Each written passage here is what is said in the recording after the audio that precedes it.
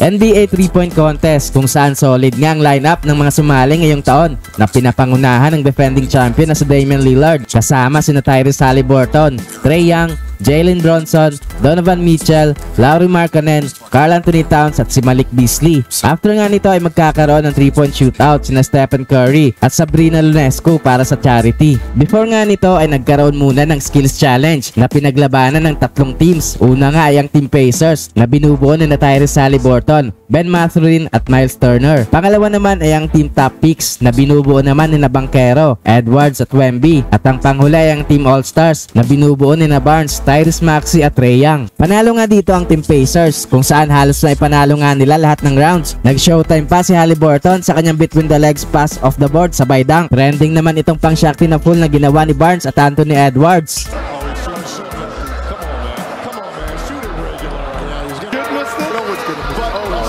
Sa 3-point contest ay unang sumalang sa Trae Young kung saan naging mabagal nga simula nito pero nakuha niya din nga ang kanyang rhythm sa shooting matapos niyang ma-perfect ang kanyang money ball rack sa uli kaya kumuha ito ng 26 points sa unang round. Sumunod naman ay si Donovan Mitchell na kumuha ng 21 points. Sunod ay si Tyrese Halliburton kung saan naging consistent nga ang kanyang shooting sa lahat ng rack kung saan kumuha din ito ng 26 points. Si Malik Beasley naman na underdog sa contest na ito ay kumuha ng 20 points. Habang si Carl Anthony Towns naman nga ay naging consistent din ang kanyang shooting sa lahat ng rack kung saan kumuha din ito ng 26 points. Sumunod ay ang all-star player ng New York Knicks na kinapos din sa 26 points para mag-advance kung saan kumuha lamang ito ng 24 points. Si Lauri Markkanen naman ay kinapos ng isang puntos matapos itong kumuha ng 25 points habang ang defending champion naman si Lillard ay hindi nagpauli na biglang uminit sa mga huling rack kung saan nagkaroon ito ng 26 points. Apat na players nga ang nagkaroon ng tie score kaya magkakaroon sila ng tiebreaker round kung saan ang nanalo nga dito ay sina Damian Lillard, Trae Young at Carl Anthony Towns para mag-advance sa finals. Sa final round ay unang sumalang si Towns kung saan kumuha ito ng 24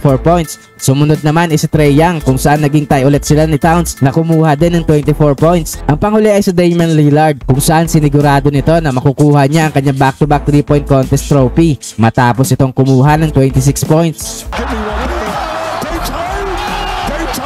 Sa naging shootout naman ni Curry at Sabrina ay unang sumalang si Sabrina kung saan mainit agad ang naging simula nito na kumuha ng 26 points. Sa step naman nga ipinakita nito kung bakit siya ang the best shooter of all time sa NBA kung saan halos wala nga itong naging mintes at kumuha ng 29 points. Kaya panalo nga sa shootout na ito si Stephen Curry.